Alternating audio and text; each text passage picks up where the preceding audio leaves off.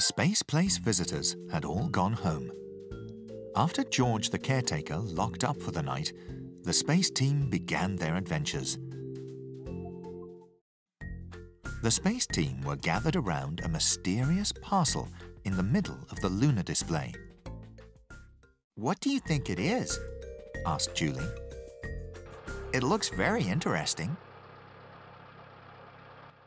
Rakesh was also interested in the parcel. I wonder if it is a parcel of new rocks from space, he said. Perhaps I will be able to add them to my collection. Neil was hovering nearby, and he too was interested to learn what was inside the parcel.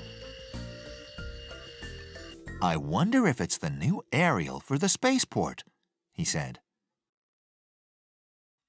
Philippe was very interested to find out what was in the parcel. He hoped it was a replacement for one of his dishes. It must be something bigger than that, said Bernard. Look at the size of the parcel. Sometimes a parcel can be full of soft packing so that the thing inside doesn't get damaged, suggested Philippe.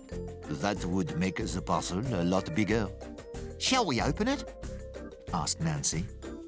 She was so interested to find out what was inside, she just couldn't wait. I am not sure if we should, said Chen. Even though he was interested to find out what was inside, he knew that the parcel was addressed to George the caretaker. All the space team looked at the parcel with interest. When would they find out what was inside? Then, Chen thought of something. I have a great idea. See you in a minute. And with that, he fired up his booster and zoomed off. All the rest of the space team were puzzled. What was Chen going to do? What is Chen's plan? asked Nancy. She was very interested to find out.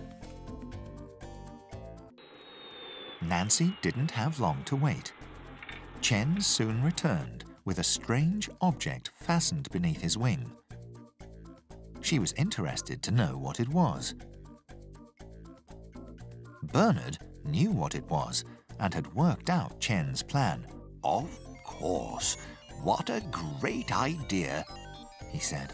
Julie and Rakesh were still very interested to know what was in the parcel and wondered how Chen was going to find out.